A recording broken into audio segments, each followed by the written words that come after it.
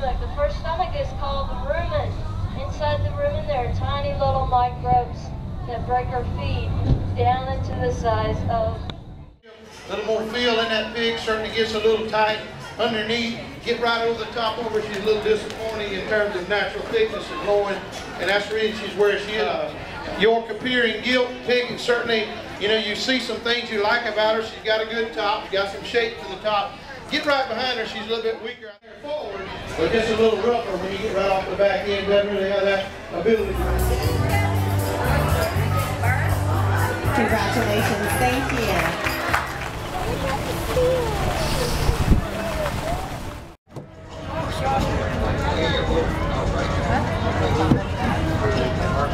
But when you look at, everything, she's also a pretty high quality kind of a gilt, and probably on the ham a little bit more direct.